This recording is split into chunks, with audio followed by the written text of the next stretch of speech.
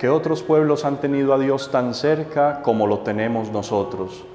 Queridos amigos, este tiempo es una oportunidad para encontrarnos de modo efectivo con Dios desde nuestras casas.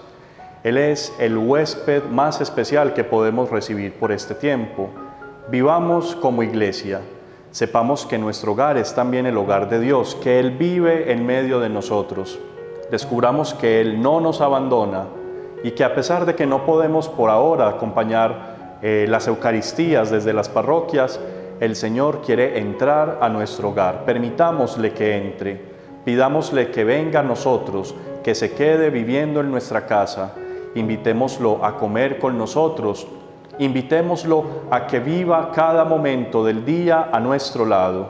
Él es nuestro compañero de camino y ahora quiere que nosotros cerremos las puertas de nuestras casas porque la gloria de Dios es la vida del hombre.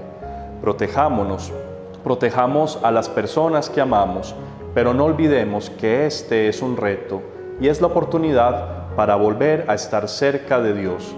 Quedémonos en casa y desde allí oremos en comunión con nuestros sacerdotes y con toda la iglesia del mundo.